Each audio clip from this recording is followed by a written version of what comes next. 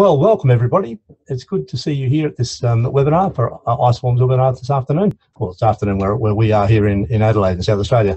I'm uh, Trevor Pillar, National Partnerships Manager for ICE WaRM, and um, I'll be chairing this afternoon. Today I'd like to um, introduce um, Professor Howard Fallowfield. Uh, Howard is a aquatic micro microbial ecologist. He, his research is in the health aspects of water quality.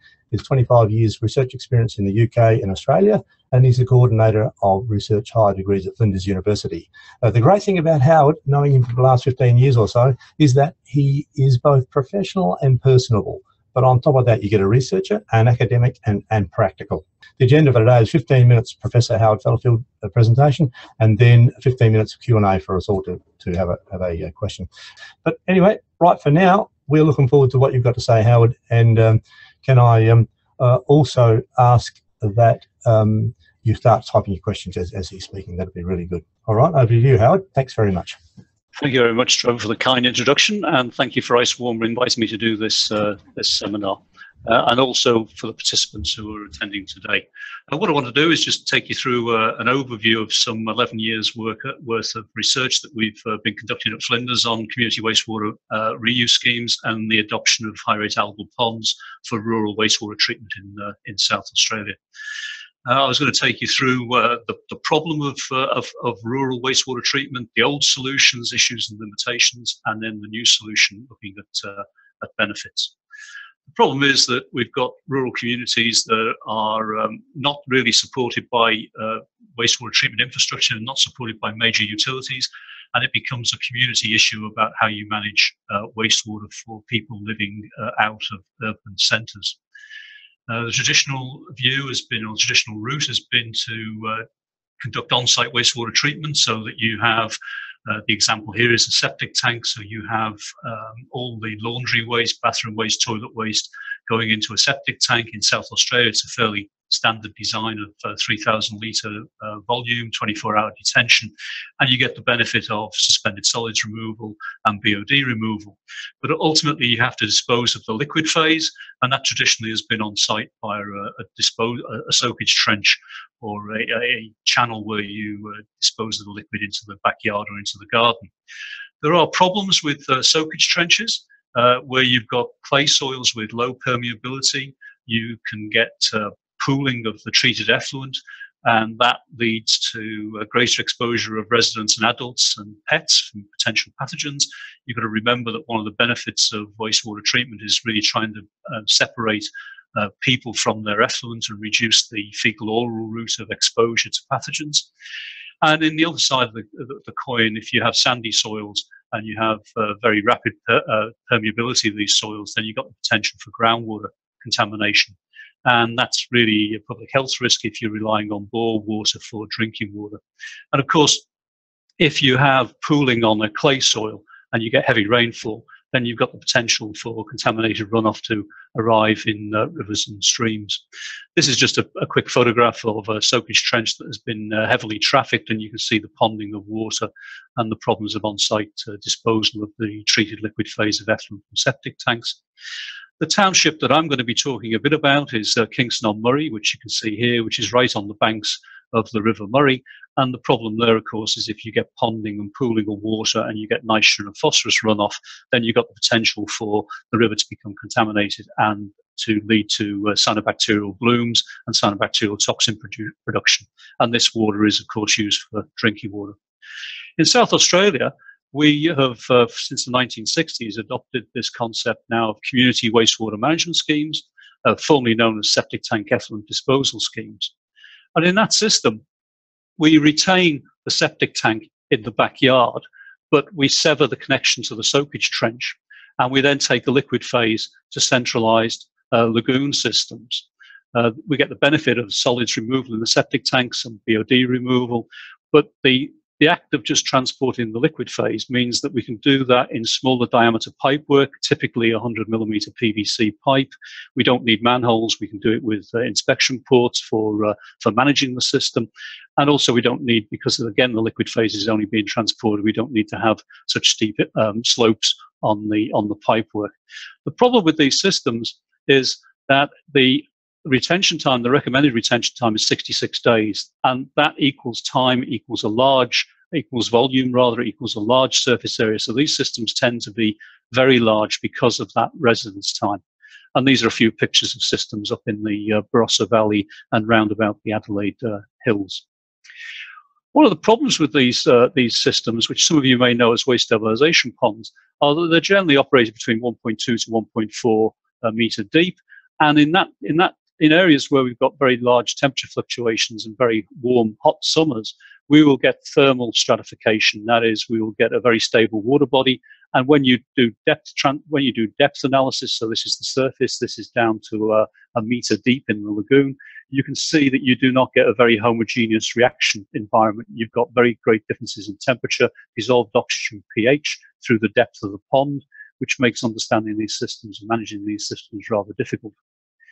The other problem is these systems uh, are largely unmixed and you get problems of hydrodynamics in the system. So you'll get hydraulic short circuiting in this design where inlet water, if it's uh, less dense than the water in the lagoon, that is warmer, you'll get the surface water exiting the pond and it won't re be retained in the pond for the design uh, retention time. You may also get uh, recirculation in the pond. That is where the inlet hits this baffle wall and then recirculates back into the pond, which means then you've got a very inefficient pond because you've got pond volume not being involved in treatment. And then a lot of work that we did in the early 2000s demonstrated the importance of wind effects where you can get wind where in this direction would be delaying the inlet, uh, delaying the wastewater arriving at the inlet. At the outlet, it would be pushing up towards the inlet. And on the al alternate route, you would get shorter retention times because the water is being blown effectively down the pond. So we looked at this and said, is there an opportunity for high rate algal ponds? And we see that now as a bit of the uh, new solution. So in the past, we've had a, a lagoon which has been unmixed certainly people who've researched on waste stabilization ponds have thought about the aspect of putting in baffles to try and uh, improve the hydrodynamics, move towards a, a, sort of plug flow to improve, say, pathogen removal. What we've also done, though, is incorporate the baffles, but also put in a very simple uh, paddle wheel. And most significantly, sorry, most significantly, these ponds are operated at a much shallower depth, 0.3 to 0.5, the paddle wheel is not there to aerate, it's merely there to keep the, sus the, suspended solids, which are predominantly algae in solution, which produce the oxygen for uh, wastewater treatment. And the paddle wheel is rotated about 12 RPM, and there's a mean surface velocity of about 0.2 meters per second engendered in the pond. So the opportunity is to retain the, uh, the benefits of a septic tank the BOD and suspended solids removal and put a high rate algal pond rather than the large 66 day residence time uh, waste stabilization pond. The work we've been doing, for those of you who may not know where South Australia is, is in South Australia, large state here.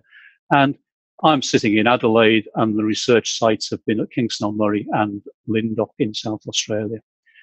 The Kingston on Murray project was uh, proposed in 2005, and construction of the system was, was performed in 2008. It's uh, a uh, you can see here the inlet system, the shallow lagoon with the paddle wheel, and the paddle wheel being mixed by a 750 watt motor, uh, very low energy consumption. Uh, the pond is about in this system is 250 square meters. It's geotextile and high density polyethylene lined. Uh, its channels were formed by uh, floating curtains made from the same plastic liner, if you like. Operational depth is, is variable for seasonal if you want seasonal depth variation. And the wastewater is circulated about 0.2 meters per second. The most uh, significant part of this, or the most significant benefit of a high rate pond, is that the residence time is between five and eight days, significantly less than the 66 days. And we have now built two of these at Kingston on Murray, and I'll talk a bit about that later in the talk. So the research component of this talk, we were asked by the Local Government Association of South Australia to show them, to do a comparative study on uh, the performance of a high rate pond relative to the old system of waste stabilization ponds.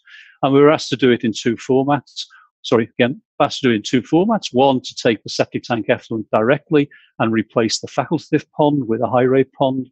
And the second series of comparisons was to take the waste, the, the septic tank effluent into a facultative pond and then into the high rate pond and thereby look at how the high rate pond would perform replacing the waste, uh, the maturation ponds, the four maturation ponds at the end of the pond series. We made a comparison between a traditional system, which is out at Lyndoch in the Barossa Valley, with our new system at, Kingston on Murray to demonstrate the performance of the high rate pond relative to the existing system.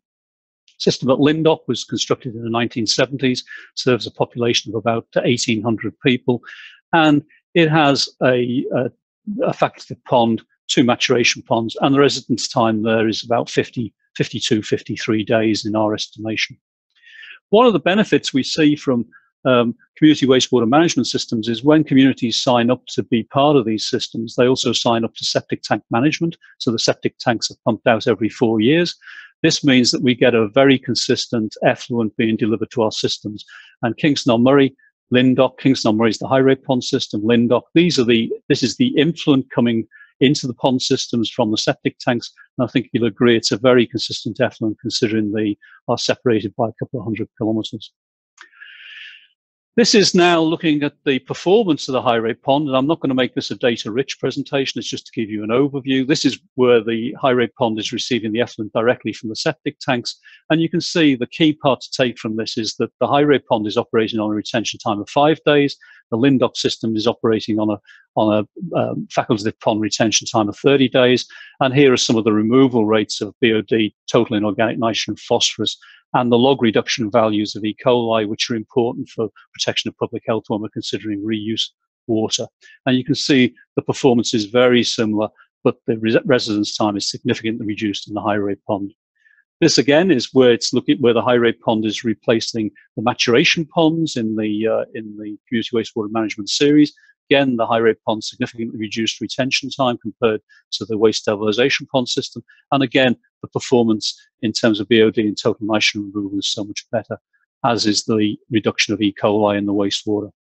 These data were then uh, independently validated by uh, Australian Centre for Water Quality, uh, accredited lab, and we moved to an independent validation because we wanted to ensure that reuse of this water, which is which is the ultimate disposal pathway, it will not adversely affect uh, public health. So we need to know how the system removes pathogenic bacteria, viruses, and protozoa. This was designed. This uh, validation program was designed in consultation with our Department of Health, which um, uses guideline uh, the Australian guidelines and guidelines that are consistent with the World Health Guidelines. We have 20 inlet samples, 20 outlet samples, conservatively done in the winter, and we look at fifth percentile values for the validation. One Uh, Howard, just just one, uh, one minute to go, one to two minutes to go. Okay. With the uh, with this system, uh, we looked at uh, pathogenic viruses and uh, phages as model indicators. We modeled these, we validated these systems in series, and we looked at log reduction values in series. This was a challenge because we're about 500 kilometer round trip, and it was done with uh, a NATA accredited lab SA Water doing the doing our analysis and provide validation. The outcome of this is it was validated by the Department of Health and Aging as an alternate system for community wastewater management schemes, and these, these, this validation is consistent across Australia. So now we have a program, we have a guideline value, a design guideline, which will be promulgated by the local government association. Individual schemes will still have to be approved by the Department of Health and Aging, but a high rate algal pond now is acceptable for community wastewater management schemes in South Australia. Chronology to exceptions, it's been an 11 year journey to get these systems from research to implementation and to validation and acceptance as an alternate system for community wastewater management schemes. The benefits of these schemes, they use about 40 to 50% less surface area than traditional waste stabilization ponds. They can be in, therefore be employed in areas where previously we thought there was insufficient land for these uh, sustainable systems. They're, they are low energy systems compared to electromechanical aeration systems that are often used in small rural communities. They're um, only use about only require about 11 to 30 percent of the earthworks previously required for a lagoon system, and consequently the construction costs are between 40 to 50 percent that of a previously conventional lagoon system. For rural communities, we also have a reduced loss of uh, water due to evaporation because of the reduced retention time. So there's more water available for beneficial reuse within the community. The water is used for woodlots, grapevines, recreational spaces, mining, firefighting, but also we could look for future beneficial uses. High rate algal ponds produce significant amounts of biosolids, which are rich in nutrients for uh, soil conditioning. They could be used for potential renewable energy via anaerobic digestion, and even for more high value crop irrigation for forage and renewable energy crops. This has attracted the interest of Melbourne Water, and uh, we built two systems, two systems for the, for Melbourne Water in the Western Treatment Plant. These are again 250 uh, square metre high rate algal ponds, and Melbourne Water are interested from the point of view of production of biomass to make them more uh, self-sustaining in terms of electrical energy production. So the algae produced in these ponds could be uh, anaerobically digested, methane produced, and electricity generated from the, uh, the system. This is the future finish up, the benefits of adopting high-rate algal pond technology would be reduced capital costs, reduced operating costs compared to electromechanical systems, lower energy consumption and greenhouse gas emissions, reduced evaporative losses, and, and we may be able to do more, more beneficial reuse both with the solids and with the liquid phase. And I'll leave the acknowledgements till later. Thank you very much. That's excellent. I wish you could hear the clapping, uh, Howard, uh, because it is a story which I've only heard once before, but I could hear it two or three more times um, it's it's stunning. That table, five days, thirty days, and the and the retention times and the um, and the uh, chemicals uh, chemistry is a really stunning table. Not to mention that last uh, picture of the oval pond, uh, pond, itself.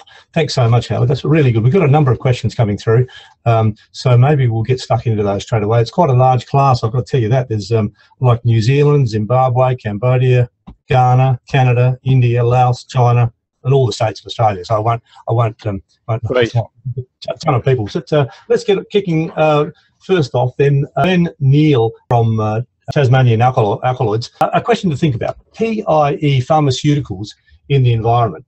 What's what's your take on this as far as reuse? That's a more uh, general question. I mean, that the the um, the, the position with these these uh, personal care and pharmaceutical uh, chemicals uh, whilst we can detect them in the environment, there's still a large question about the concentrations that they appear in the environment and the likelihood that they'll be bioactive within the environment when you reuse water. I think it's still an issue uh, that we need to do more research on, in, and you'd expect a researcher to say that, but to do more research on in terms of um, whether they are whether they can be realistically considered as biologically active and causing uh, potential adverse uh, impacts. Certainly, we have evidence of impact on um, biota in receiving waterways, but I think the question is more about the potential public health impact to humans of reuse water. And again, it's an open question in, in all pond systems. Very little work has been done on either the old traditional waste stabilization pond system or the new high rate pond system. And we're just about to start that work now. Might have to cut in. We've got we've got uh, eleven questions at this point in fifteen minutes, so they're all going to have to be fairly uh, cut. Uh, one from Ghana, Krasposi Kujinga. What's the lifespan of the system with a high rate pump? What? Well, we've been operating that system now for almost uh, ten years with the same motor and the same uh, paddle wheels. So uh, we haven't broken it yet. Is the is the message that I can have, and it's a very it's a very straightforward system in terms of a free running electric motor and a gearbox to to, to do the geared reduction for the paddle wheel speed. Yeah. Another one from Nanda Altavilla from uh, New South Wales DPI, Parramatta. Uh, how do you have any data read the pathogen removal rate you can achieve for virus, bacteria, and crypto? Yeah, what we've what we've got there, and I, I, was very quick with the data. What we've got there is the obviously the biggest concern is with uh, human pathogenic viruses, and we've met the requirements through the uh, log reduction value. Which in the winter, again, this is a conservative validation, worst case scenario for a natural uh, treatment system, we're getting over one log removal of viruses, and we'll get up to one 1.52 log removals of bacteria.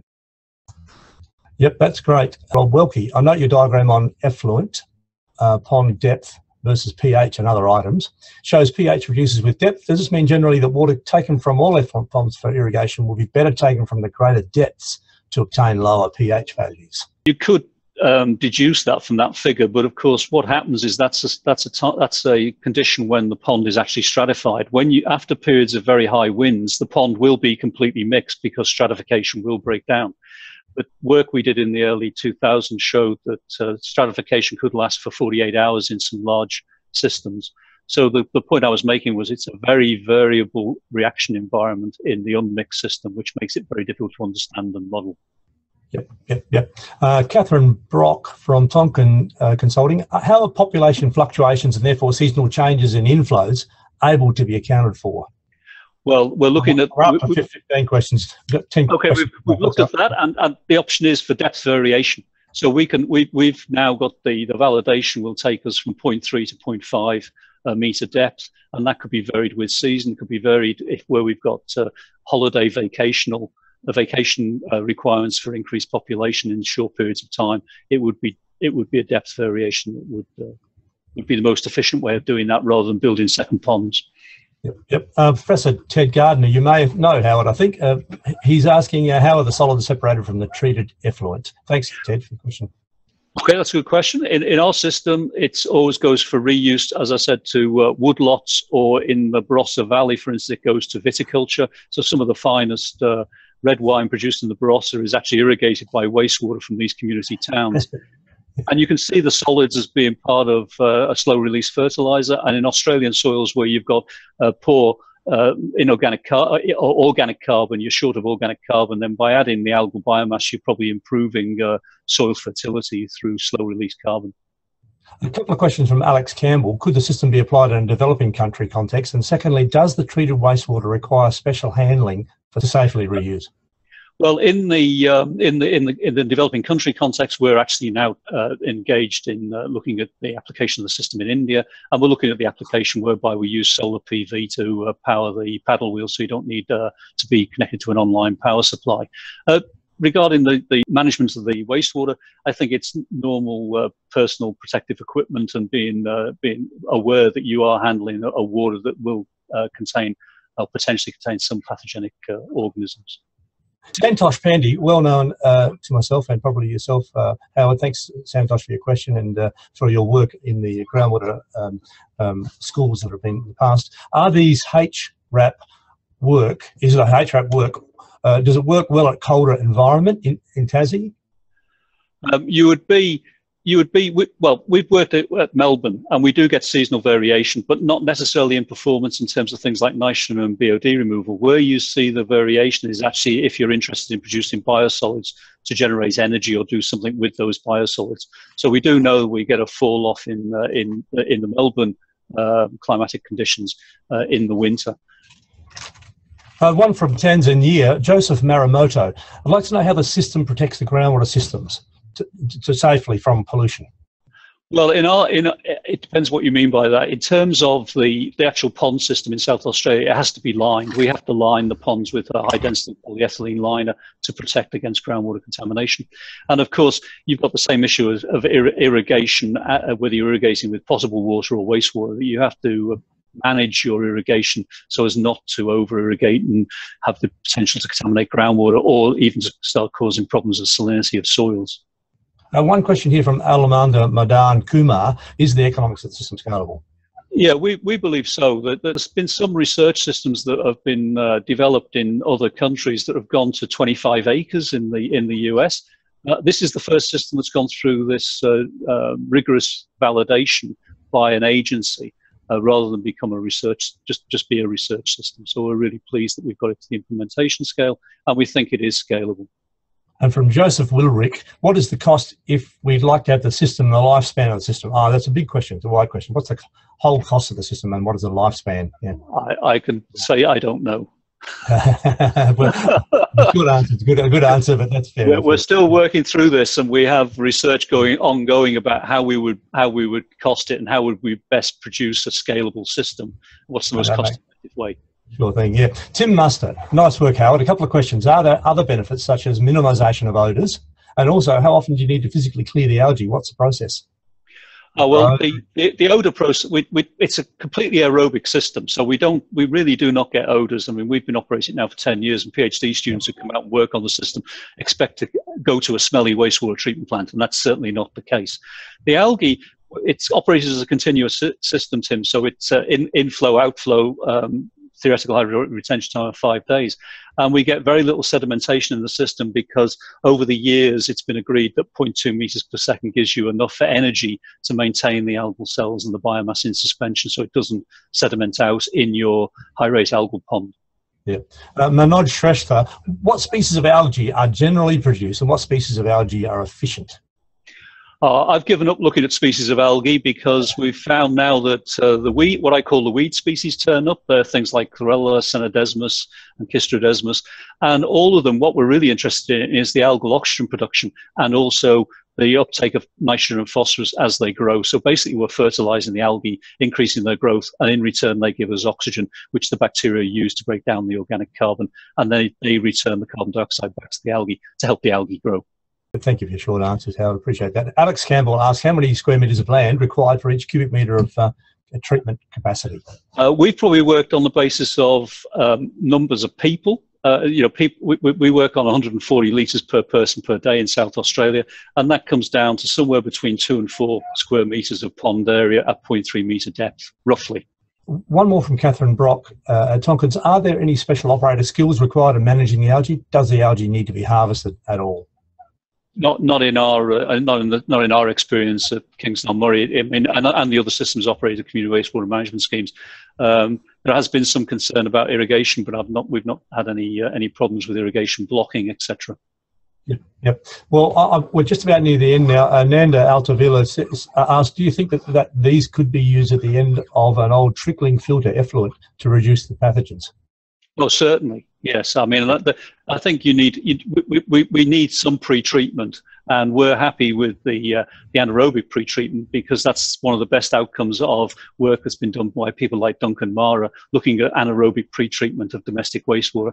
Anaerobic ponds are the way to go, but biofilters could also be beneficial I think we're just about there. Arif uh, Sudrajat has made a comment that probably others may want to join in with, and that is that would it would be possible to have some papers published or some direction, links to papers after the uh, after the webinar. His connection wasn't that good, so is that that's probably possible? Do you think, Howard? Yep, yep. I'm happy to do that. We can uh, we can give papers that we presented at the uh, yeah. Leeds Wastewater Pond Technologies, which is where I direct people. IWA International Water Association has a wastewater pond technologies group, which I've uh, served on for a number of years, and that's a great source of resource and, and publications.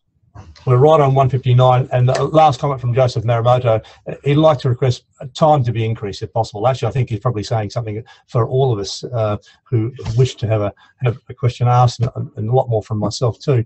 But um, not enough time, need more time. He learned a lot, uh, Joseph said. I think we're going to have to close it there. Nine countries, um, every state and territory in Australia. Look, thanks for your participation. We're really uh, pleased with the um, with the uh, time together, and obviously we need, we need more time. It's, it's right on the uh, 30 minute mark now, so we're uh, we're going to close there. And a, a, very big thank you to Howard for taking the time on this. It's a lifetime's work, obviously, but I appreciate your effort on top of all the other stuff going on in your in your uh, research and in your life at uh, Flinders University. Thanks very much, Howard. Thanks everyone for joining us. See you, you, again in the future. Yep. Bye. Bye. Thank you.